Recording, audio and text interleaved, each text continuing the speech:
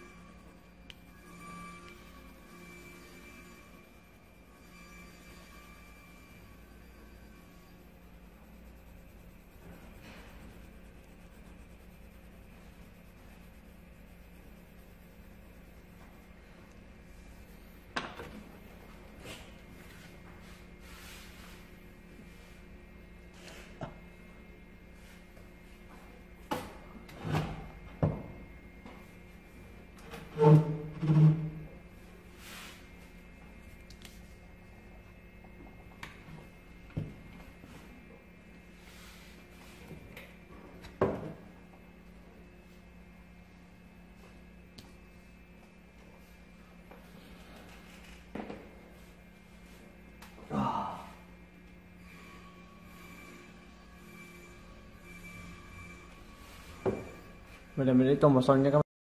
Xin chào tất cả các bạn đang xem trên kênh youtube của mình. Video ngày hôm nay mình sẽ hướng dẫn cho tất cả các bạn là tô màu Những bức tranh, bức vẽ tô màu sao thật, thật là đẹp. Và bây giờ chúng ta cũng bắt đầu nào. Bây giờ mình sẽ tiếp tục đi tô mỏ nữa